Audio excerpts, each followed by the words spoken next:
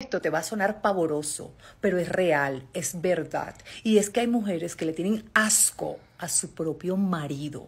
Así como estás escuchando, esas mujeres a las que les duele la cabeza, a las que les viene, según ellas, el periodo tres y cuatro veces al mes, a las que le dicen no a esto, a esto, a esto, a esto y a todo. ¿Y la excusa cuál es? Cualquiera. Esas mujeres que le tienen asco al marido, pero que otra en la calle no.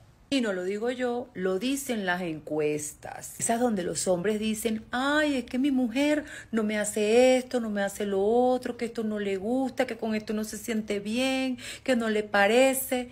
Y por eso es que allá existe la otra, a la que sí le parece, a la que siempre está dispuesta, a que no le importa, a que le huele cómo lo tiene, cómo lo mueve, es así, se goza a ese marido. Entonces, conclusión, mujer, si a ti no te gusta tu marido, si a ti no te parece cómo te lo hace, por dónde te lo hace, cuándo te lo hace, lo que te pide, deja ese marido. Tú no eres mocha, de hambre no te vas a morir, ponte a trabajar si eso es lo que te detiene, pero no te veas obligada a tener ese hombre en la casa y no lo usas. Fin.